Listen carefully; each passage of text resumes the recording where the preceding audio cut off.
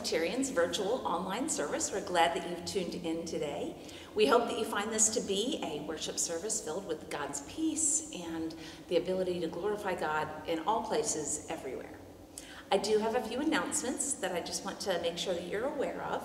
First, thank you for your generosity, compassion, caring, understanding, gifts, food, driving over the past four weeks. Um, obviously, I'm still unable to put weight on my right leg, and I have four more weeks. So it's a long journey, but I appreciate your help um, and your understanding. Um, I have exciting news. Next Sunday, September 12th, we will have a special surprise following worship outside in the parking lot. We will have ice cream fellowship. CNC um, Treats is coming with their truck, and we have contracted with them to serve everybody ice cream. So if you're not able to come to worship because you're unsure about in the sanctuary, you can still join us outside for ice cream afterwards. We would love to see you. Um, we are um, going to begin this year Backpack Buddies. The need has increased from previously I think we were doing 60 students, then we did 70, and they've now got 90. So we're trying to um, be creative to find ways to serve those students in E. Wilson Morrison. Um, we will need help packing, so please pay attention to that. It's an easy way that you can give back and feed the kids. So I hope that you'll um, take some time to help us with that Backpack Buddies program. We also are collecting items for the Afghan refugees. We're working with the Islamic Center in Fairfax to give them necess basic necessities that they might need as they come over here fleeing their own homes. So you can check the newsletter for that. And finally, we are sending care packages to our students, our kids, and our shut-ins. So I hope that if you have a, an extra minute to bake some cookies um, or come and help us deliver these the week of September 13th. I'd love to have your help. So, lots going on. I know there's a lot going on in the world. So let's take this time to let the peace of Christ reign in our hearts. Let us worship the Lord God together.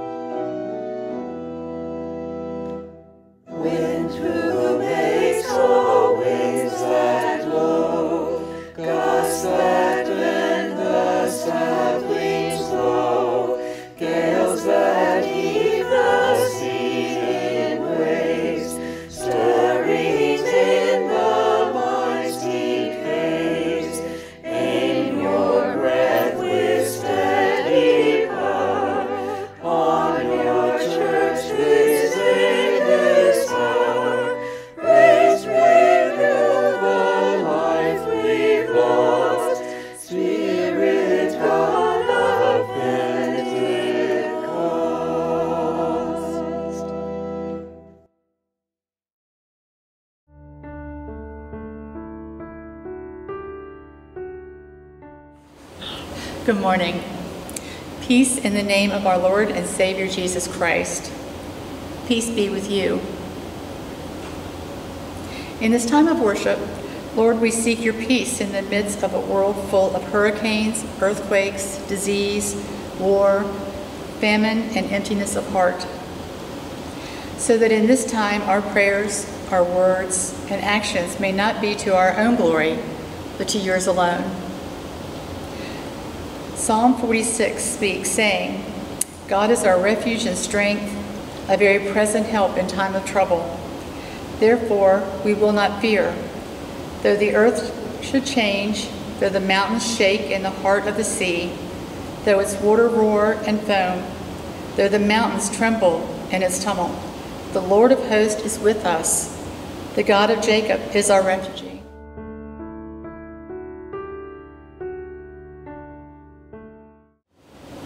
Join me in the prayer of confession. Merciful Lord, we say we want peace, yet our hearts and minds cling to anger, prejudice, revenge, and hatred. We claim as individuals, as a community, and as a nation to work for peace, yet our greed, power, and arrogance stand in our way. Lord, have mercy. For the peace we seek is not the peace of Christ, but a peace that is self serving and centered around our own selves. Forgive our ignorance. Confront us with our failings. Teach us your peace of mercy, compassion, and love. Lord, hear our prayer.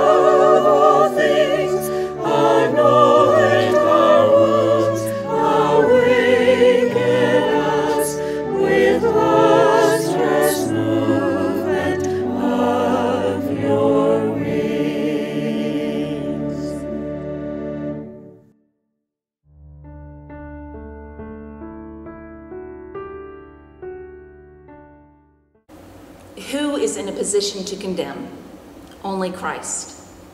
And it is Christ that died for us, Christ that rose for us, Christ that reigns for us, and it is Christ alone who forgives us. As we return once again to these life giving waters, we remember that we are forgiven. And so we are told to go and forgive others. You are forgiven. Be at peace.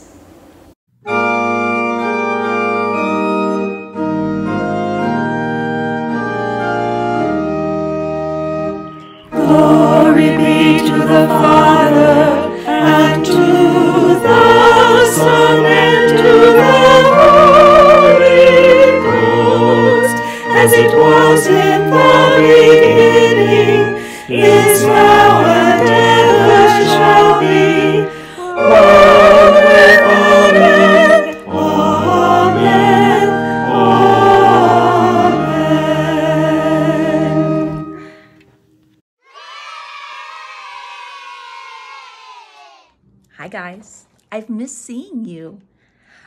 to be back, though.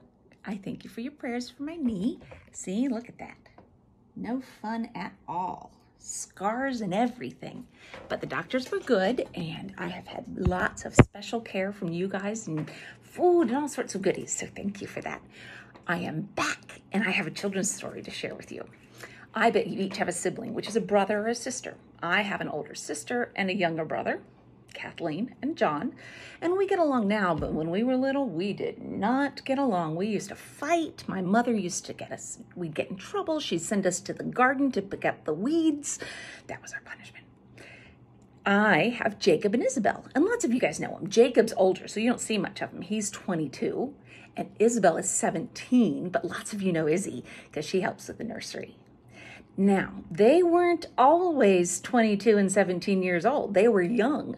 And one day we were driving to church and they were fighting about who was going to sit behind my seat because they both had to sit in the back seat because it was safer. They were fighting over who was going to sit behind my seat. They fought and fought and fought and fought and fought. And then I was just so frustrated with them that I said, fine, you know what? You're both sitting in the back seat. Isabel here, Jacob here, and in the middle, I want you to hold hands all the way to church. Now look at this picture because it's hilarious. You see Jacob's face? He's smiling. And Isabel's got this look of disgust on her face. And she has a finger, one little finger. And Jacob's like, here's my hand and one little finger. And I'll tell you this story because think of Jacob and Isabel in that picture. When we return something, when if somebody hurts you, pushes you down, gets into a fight with you, what's your first thing you want to do? If you get pushed down, you want to push them down, right? Yeah, pretty much. If somebody hits you, you want to hit them back. If they take your toy, you want to steal it back. That's what that's what we are, and that's what Jacob and Isabel were doing. And I told them to hold hands, and well, Isabel didn't want to do that. The real thing about peace, you know what peace is? The peace of Christ, that one thing that makes us feel comfortable and safe and protected, is it's not the enemy that causes the peace. It's not the person who pushed you down. It's how you respond. So look back at that picture of Jacob and Isabel. Which one of those, Jacob or Isabel, is at peace? Certainly not Isabel. Jacob gives his whole hand to her and she just gives a little finger. So, what are you going to do when something goes wrong and you have to be the peacemaker? You're going to give him your whole hand and, and offer forgiveness? Or you can just give a little bit, just the tiniest bit, just to meet the standards? See, sadly, in our world, we, we do just that tiny bit. But it's important that we give of our heart because that's what Jesus gave for us. I love you guys and I miss you, and I will see you soon. Let's pray. Lord, thank you for your mercy, your trust, your grace, and most of all for your Son, Jesus Christ. Amen. Bye, guys.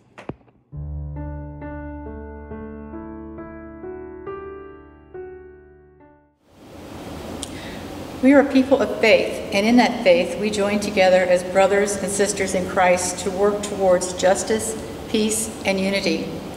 To that end, Front Royal Presbyterian act- actively works within the community to feed the hungry, house the homeless, care for the sick, and heal the brokenhearted. You are invited to join us in mission by your talents, your gifts, your service, and your prayers. Let us pray. We are blessed with the bounty around us. We are blessed with the generous hearts of this congregation, their gifts that go to build community and to help those around the world. So, God, we give these to you, asking you once again to bless them. Use them in the service of your Son, Jesus Christ. Amen.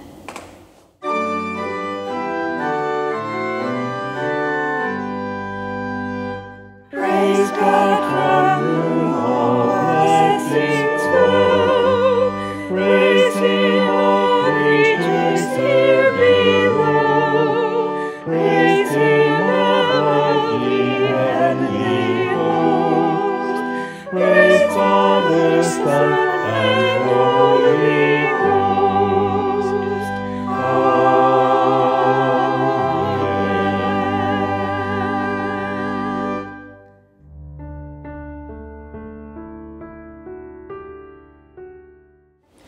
scripture today comes from 1 Peter 3 8 through 11.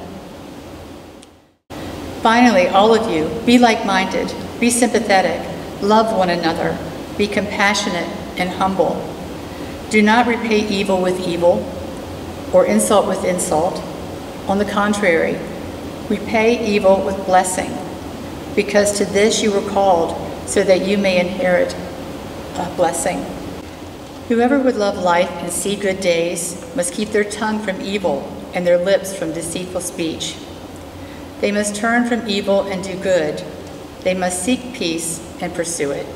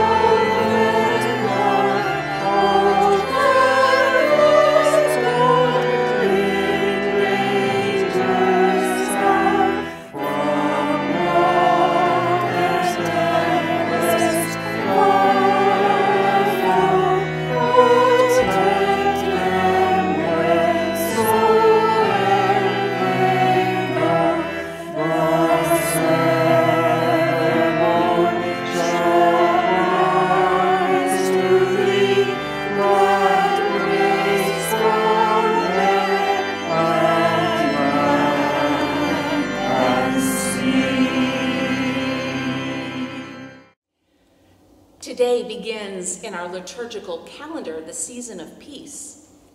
And so I chose a passage that is very familiar. It's from John chapter 14, and it's Jesus preparing his disciples for when he's going to be leaving and telling them what is after this world. I'm going to pick up in the Gospel of John, chapter 14, with verse 25. I have said these things to you while I'm still with you. But the advocate, the Holy Spirit, whom the Father will send in my name, will teach you everything and remind you of all that I have said to you. Peace I leave with you. My peace I give to you. I do not give to you as the world gives. So do not let your hearts be troubled, and do not let them be afraid. You heard me say to you, I am going away and I am coming to you. If you loved me, you would rejoice that I am going to the Father, because the Father is greater than I. And now I have told you this before it occurs, so that when it does occur, you may believe. I will no longer talk much with you, for the ruler of this world is coming. He has no power over me, but I do as the Father has commanded me, so that the world may know that I love the Father. Rise, let us be on our way. The grass withers and the flower fades, but the word of our Lord will stand forever. This is the word of the Lord. Thanks be to God.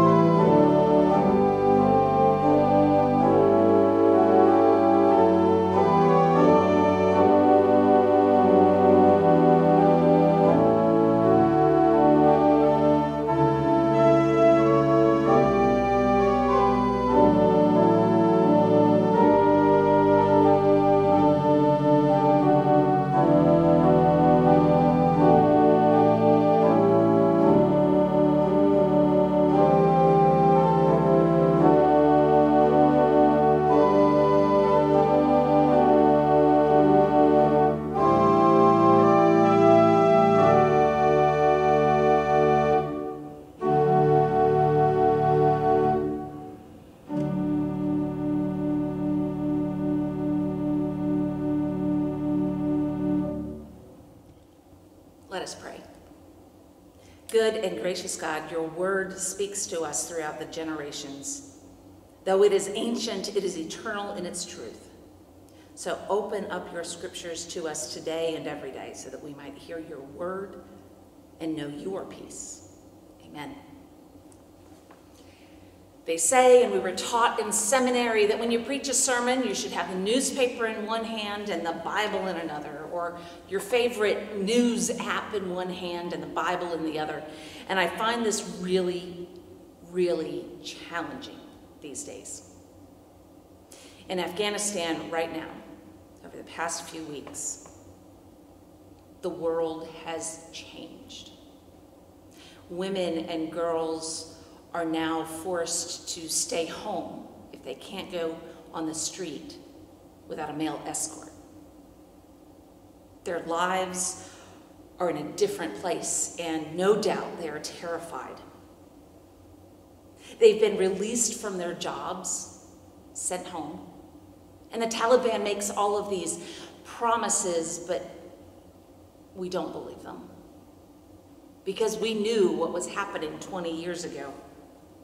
And now they've been thrown back in time to 20 to 30 years before, after all the progress. And when I read this in the news, I can then turn to scripture. And Psalm 46 is one of my favorites. Just as we think about the people of Afghanistan, scripture reads, He makes wars cease to the end of the earth. He breaks the bow and shatters the spear. He burns the shields with fire. It doesn't really match up, does it? Psalm 46, it just doesn't work. Haiti has had another earthquake, barely being able to come back from the earthquake in 2010.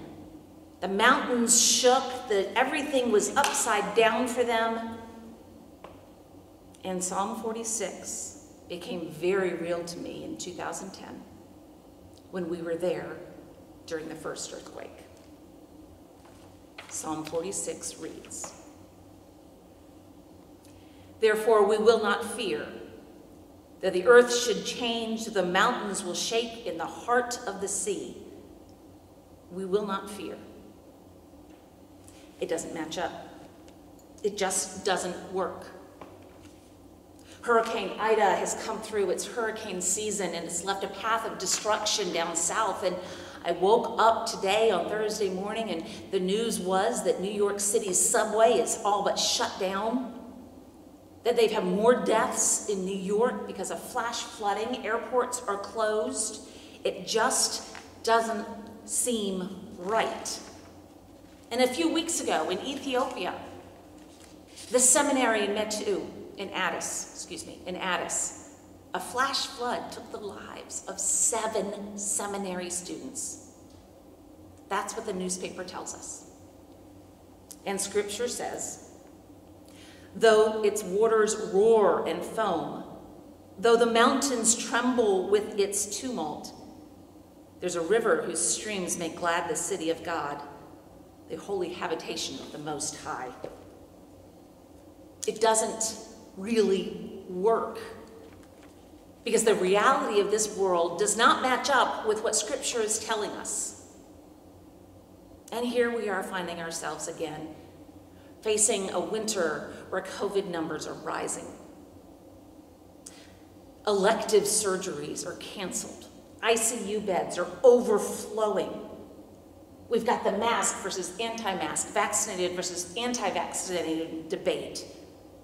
And the very real possibility that our children will once again go back to virtual school, stripping from them their social lives, and for many, food.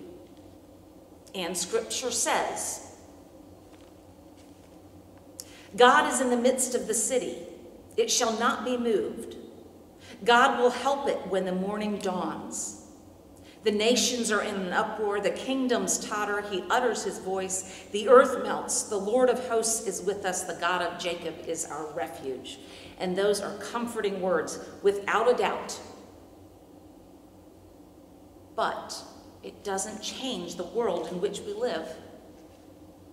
And I can't reconcile this newspaper, this world, with Scripture. And we can look at it two ways. We can look to the possibility that as we look around the world, there is no God. Because what kind of God would inflict this much pain on his beloved children? There is no God, is one way. The other way is to say that yes, there is a God. His plan is more perfect than I can imagine. I can sit nicely in church, fold my hands, and feel this safe place, the advocate welcoming me,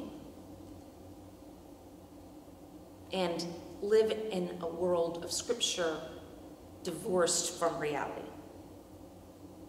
Isolate myself. There has to be a middle ground. There has to be some way to take the scripture and make sense of this and the newspaper and know that God is in the midst of it. And today is the beginning of the season of peace. And we need it now more than ever.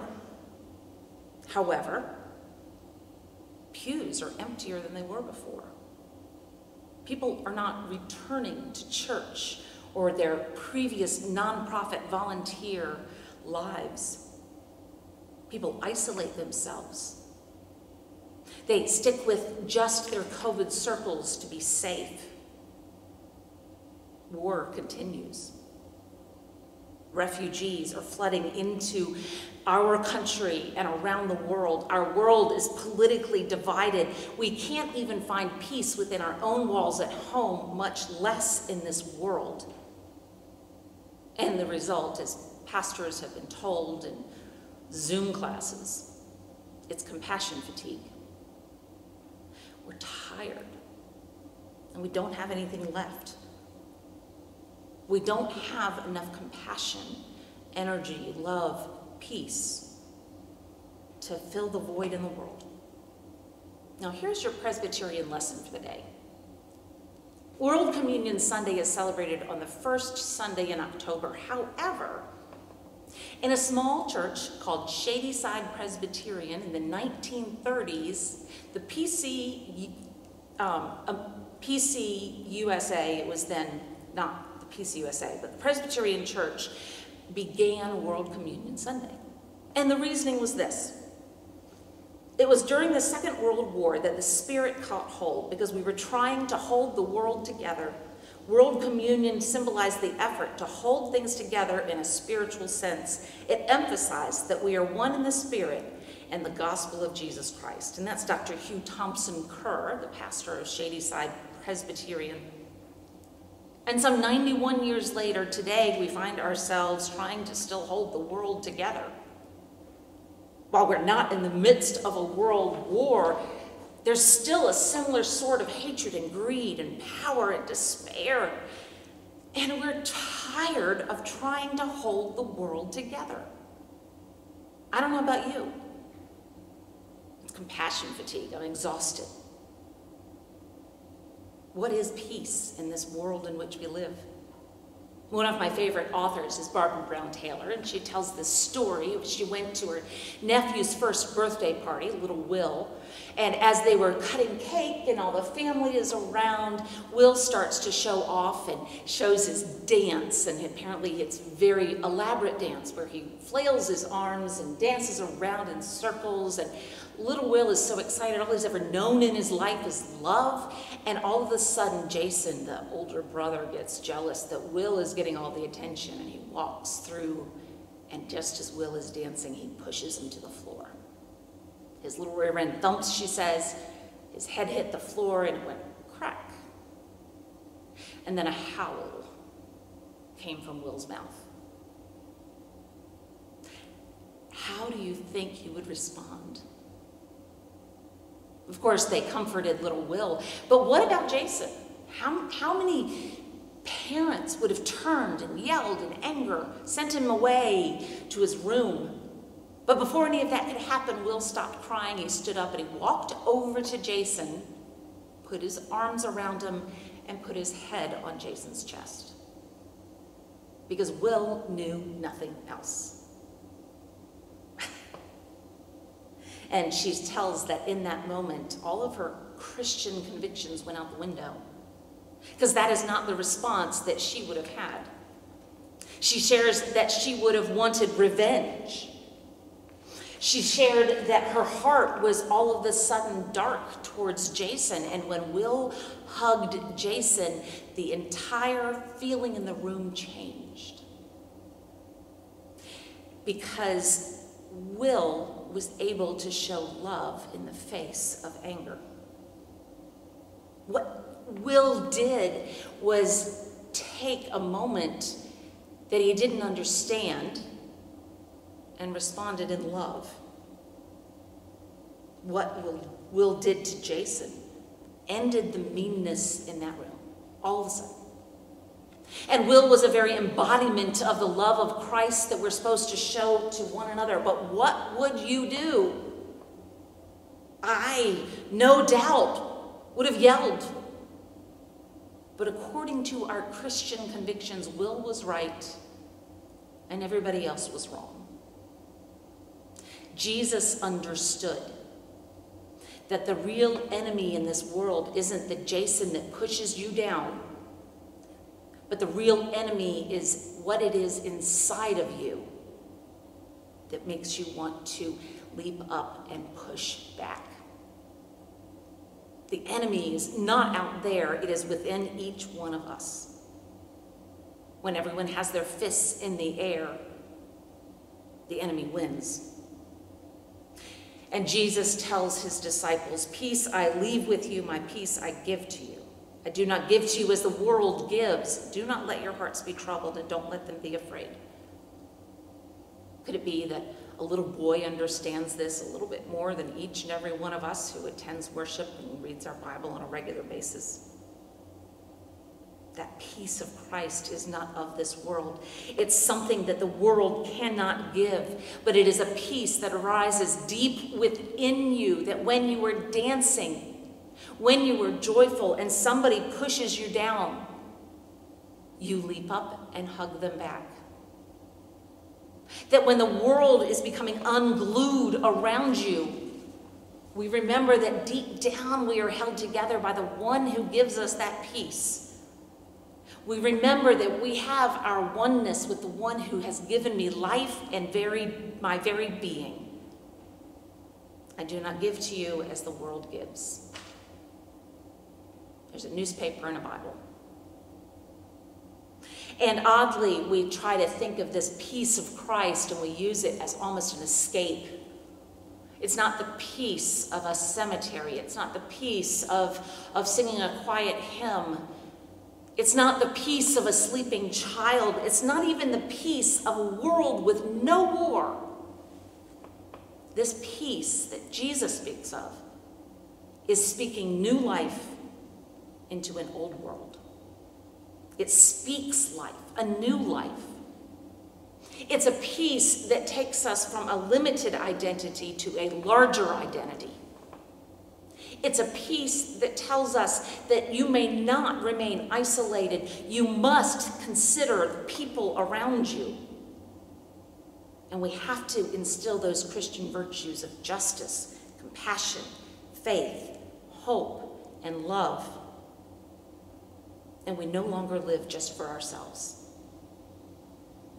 And I'll be honest, that's not the American way. It's not our way because we live for ourselves. There's an old benediction, and it, and it says, May God deny you peace, but grant you glory. May God deny you peace, but grant you glory. Because the peace of Christ is a double edged sword. Though we have the peace of Christ within us, acknowledging the peace of Christ also makes us realize that there is no peace until everybody has peace. There is a quiet peace of Christ that in that double edged sword opens our eyes and should and does make us uncomfortable in the world in which we live. There is no peace for us until there is peace for all. There is no justice for us until there is justice for all. So, though we have the peace of Christ, it makes us uncomfortable. Can we cry peace when there is none? The places in the world, if you go to third world countries, there are places in this world where children have toys that you couldn't imagine. In Haiti, it's very familiar to see a, a, a bicycle tire that's been flattened and children pushing it along with a stick so it rolls. I've seen children pick up condoms discarded in the road and blow them up like balloons and play balloon volleyball. And a pastor tells a story about how he was walking down a refugee camp and he saw a child playing a flute. And when he walked closer to comment to the child how pretty the song was, he noticed that it was not indeed a flute, it was the barrel of a rifle. How do we do that?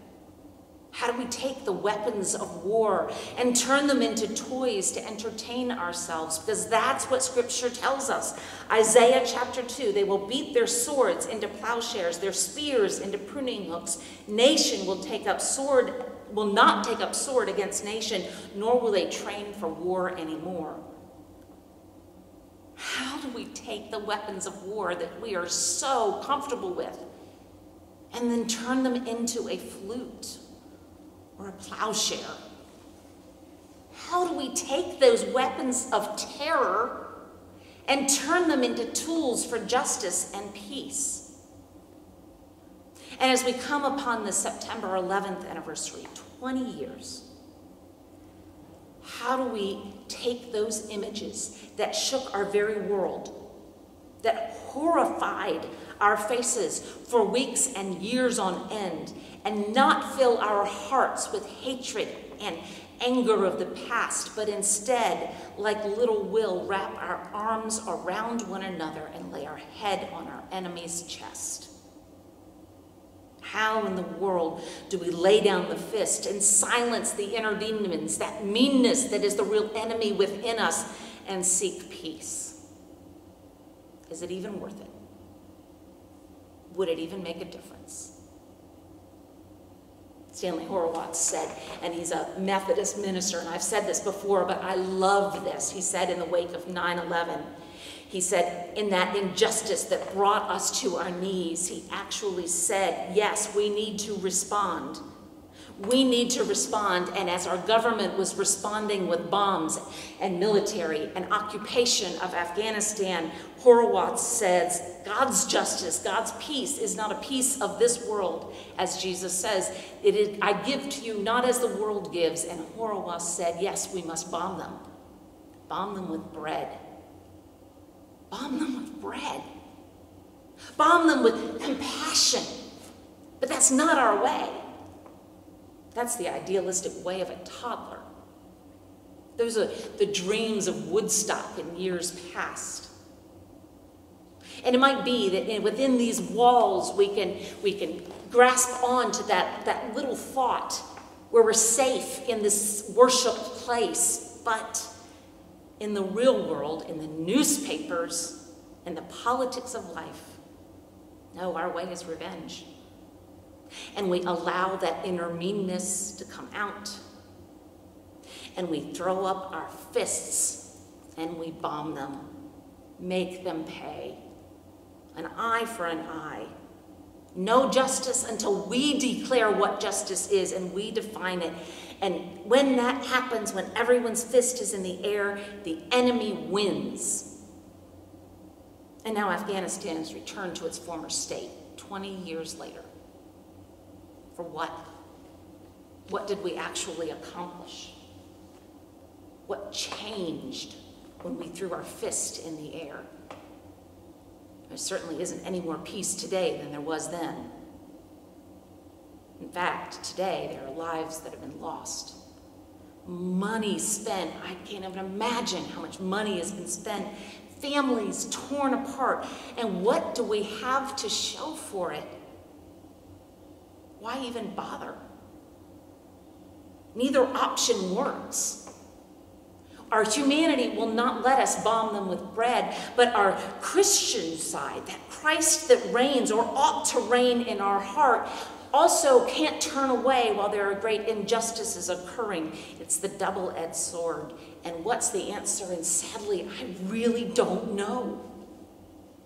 In the meantime, though, as we work through the mess of this world that we have created, that we have brought upon God's good creation, we live into a larger identity than ourselves. We speak a new life into the old ways of this world. And we speak a new life of Christ in whom we live and have our being.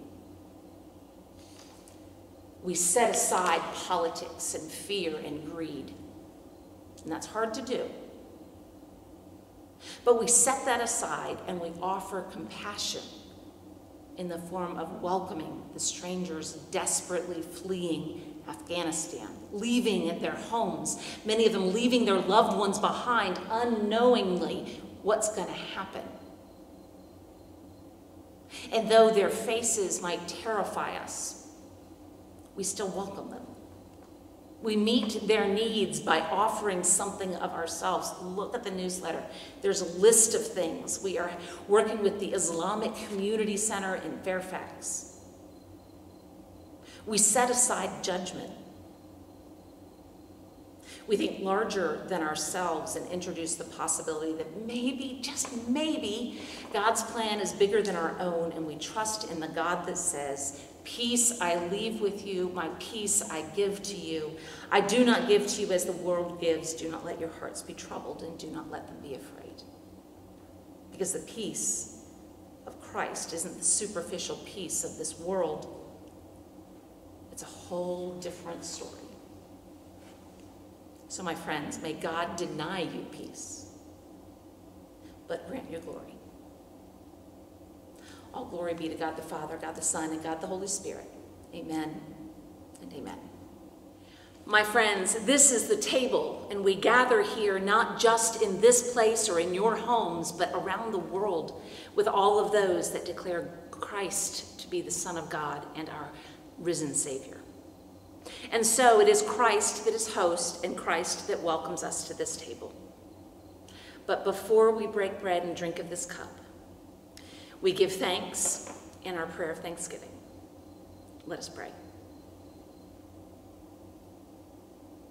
Lord, in the beginning of time, you spoke and an entire world was created. And you made it perfect just for us, and you provided for our each and every need. You gave us life, you gave us companionship, and yet still, Lord, we, we chose greed over your love. And when you granted us the peace of the Garden of Eden, we chose to disobey. And from that day forward, Lord, we confess that we have chosen our own way over your way. You, in your graceful love, mercy, and compassion for us, sent all sorts of those prophets and judges and kings to, to bring us back to your way. And Lord, we still denied you. We thought our way was better, so we chose the ways of this world over yours. And in an ultimate act of love, you gave us your only Son who walked among us, breathed among us, ate with us. And yet, still, Lord, we denied that you were God. And in the ultimate act of justice, your justice, Christ on the cross, an act of justice, a mercy that we did not deserve, but you gave anyway. And in that, Lord, we also see the resurrection. We see the truth of your love for us and how amazing and how it goes beyond anything we can begin to imagine. And we give thanks that you, O oh Lord, have granted to us this bread and this cup to remind us that you gave your life so that we might live. We give you thanks, Lord, for this church and this community, for all of those communities that are working together to bring about peace and justice. We ask you, Lord, to open our hearts and set aside that anger within us so that we might reach out with compassion and justice and love and mercy. And we ask you, Lord, to make us uncomfortable so that we have to act, that we can no longer sit still, that we must do something. As we welcome the strangers of Afghanistan, we pray, Lord, for their peace. As we begin to do backpack buddies and seek to serve more kids than ever before, Lord, we grant, ask you to bless the food and let it multiply so that all might be fed. As we look to our loved ones that are sick, those that are fighting COVID, our frontline workers that are exhausted, we ask you once again, Lord, to just be with them. We lift up to you Adrian Burt with health concerns. We continue to lift up to you Richard Johansson. Those in the path of Hurricane Ida as it came through the nation this past week, Lord, be with those that have lost lives and property, those that are scared and alone. For all of these things, Lord, we lift up to you because you are a merciful and loving God and you hear our prayers. So let us pray together. Our Father, who art in heaven, hallowed be thy name. Thy kingdom come, thy will be done, on earth as it is in heaven. Give us this day our daily bread, and forgive us our debts as we forgive our debtors. And lead us not into temptation, but deliver us from evil, for thine is the kingdom, the power, and the glory forever. Amen.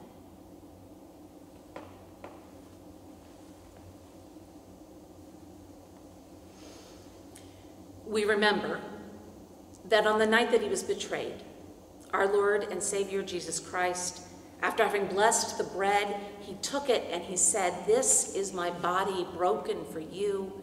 Take and eat. And in the same manner, he took the cup and he said, This is my blood shed for the forgiveness of your sins. Take and drink. For as often as you eat of this bread and drink of this cup, you proclaim the Lord's death until he comes again. The gifts of God for the people of God.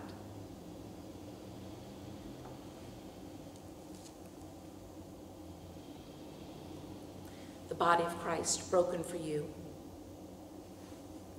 and the blood of Christ shed for you.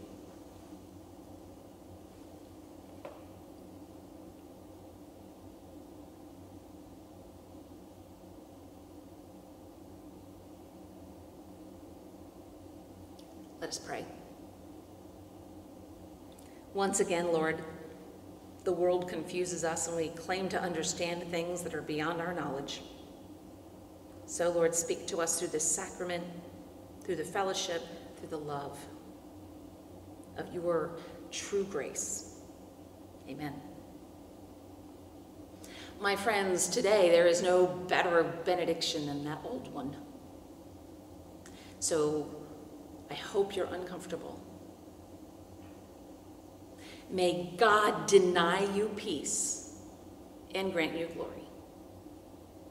In the name of the Father, the Son, and the Holy Spirit, amen and amen.